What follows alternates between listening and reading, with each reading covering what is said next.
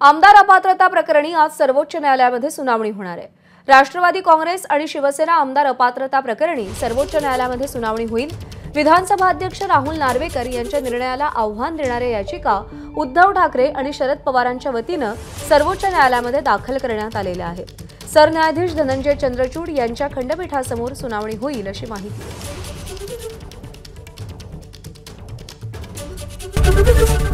ABP माझा. उघडा डोळे बघा नीट।